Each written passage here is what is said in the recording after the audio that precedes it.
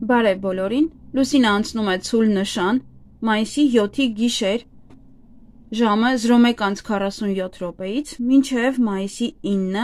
ժամը 03:14 րոպե։ Լուսինը ցուլում դա գեղեցկության, սիրո եւ ֆինանսի տունն է։ Երբ լուսինը մտնում է ցուլի նշան, սկսում է իշխել խաղաղությունը եւ կանացի սկզբունքը։ Աշխատանք եւ կարիերա։ Այս օրերը բարենպաստ են երկարատև աշխատանքի համար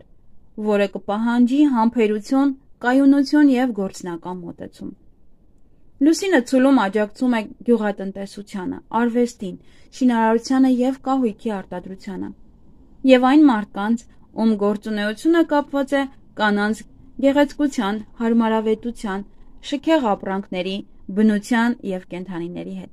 Լավ ժամանակ է հաշվապաների եւ բանկիրների համար։ Հնարավոր է կնքել երկարաժամկետ պայմանագրեր։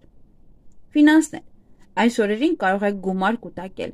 Կարող եք գնել տուն, հողատարածք, այն ամենը, ինչ անհրաժեշտ է առօրյա կյանքի համար։ Շքեղ իրեր, հագուստ, զարդեր, դրանք կլինեն արժեքավոր, գեղեցիկ, օգտակար եւ դիմացկուն։ Հարաբերություններ Այս պահին սկսված սիրավեպերը, առաջ եթե առաջին օրը իհարկե հաջող լինի, կլինեն երկար, լի կրքով, հաճույքով եւ քնքշությամբ։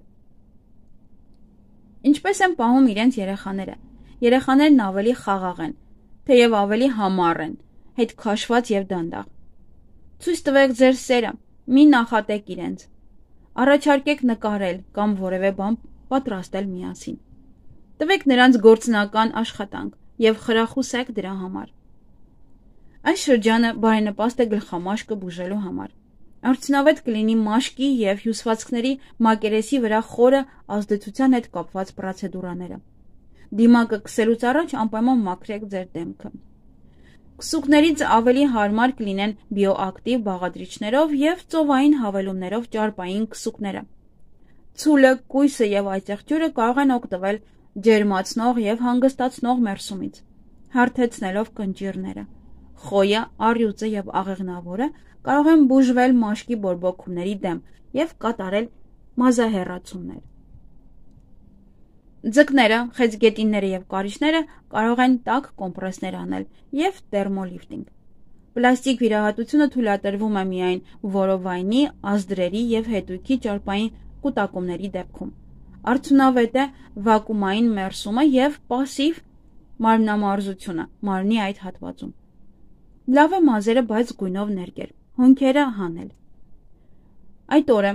խոցելի են պարանոցը, կոկորթը, ձայնալարերը, վահանաձև գեղձը եւ նշագեղձերը։ Այս օրգաններում վիրահատություններ չի թույլատրվում եւ իհարկե նվազող լուսնի ժամանակ եւս չի թույլատրվում վիրահատություններ։ Այսքանը սիրելիներս, ձեզ հաճելի օրեր եմ մաղթում։